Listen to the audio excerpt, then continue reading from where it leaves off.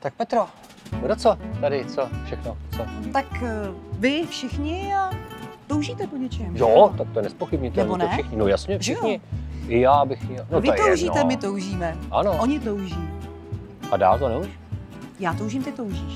On, No. Ona, ono touží. Tak, ano. Bez koho? Bez čeho? Bez celulitidy, bez tetování, bez vrásek, bez břicha, bez chlupů, uh, s jakou- omlazenými intimními partiemi. Já myslím, že původně úplně bez. Ne, je to s. Taky, protože potom... I bez, jo. Jo. Pojďme Prostě dovnitř, pojď, pojďme dovnitř rychle v tom případě. To mě zajímá. Kde jsou bez? Tady jsou bez asil. Komu čemu to tady všechno Patří. patří? Tak mě teda, ale jako jinak komu čemu?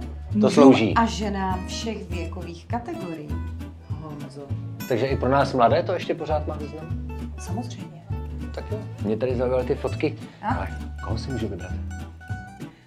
No vlastně, jakýho terapeuta budeš chtít? Jo. Hm? Ale mezi náma na co? Jako Na, na různé terapie od hlavy až k patě.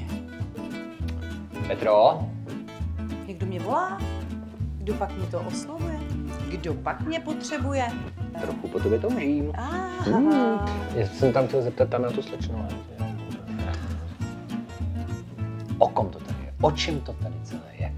Je to o vás, Ano. o našich klientech, o super procedurách, vymazlených procedurách a o naprosto dokonalém Petra Clinic týmu.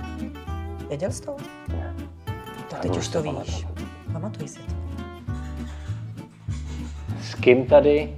Ale oni asi spíš s čím, viď? Než s kým.